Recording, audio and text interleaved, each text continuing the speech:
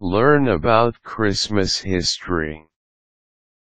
Few holidays aside from Christmas have the distinction of the long history and worldwide spread that this midwinter holiday enjoys.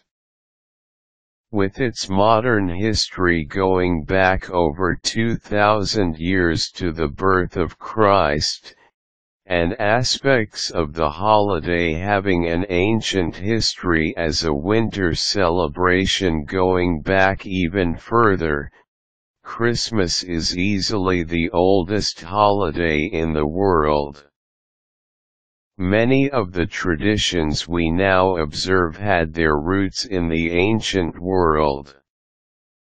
Empires such as Rome, Persia, and Mesopotamia celebrated their own versions of the winter solstice, as well as European civilizations such as the German and Norse tribes to the north.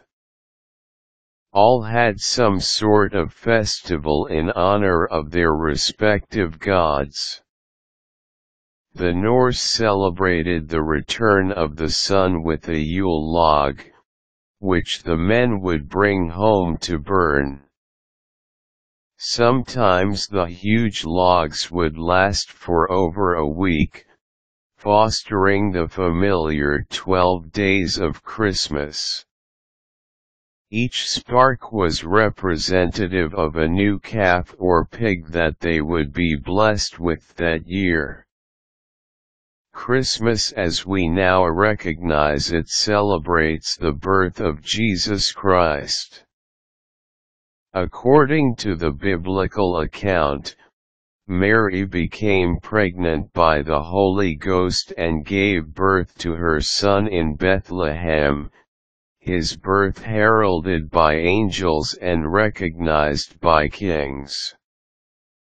This miraculous event is what is now celebrated by many people throughout the world. In the early years of Christianity, the pagan traditions were looked upon with disgust and horror.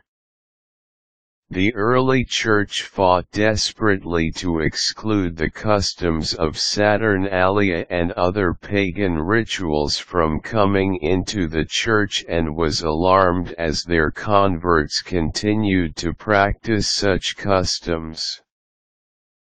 Finally, they attempted a different tactic, changing the usual pagan practices and giving them Christian meanings, and so adopting the heathen holidays and morphing them with Christian observances. This practice was widely debated over the years to come, as different religious sects continued to reject the entire idea of celebration during the Christmas week, instead observing the practice of solemnity and reverence. Puritans especially disdained the celebration and frivolity which took place during the Yuletide festivals.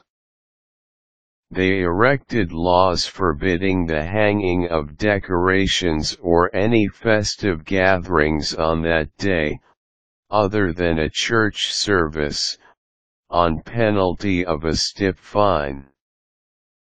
This practice continued to be followed throughout early American history until the early 1900s, when the influx of European immigrants finally overwhelmed the old Puritan customs. Today it is a joyous celebration remembering the Christ child.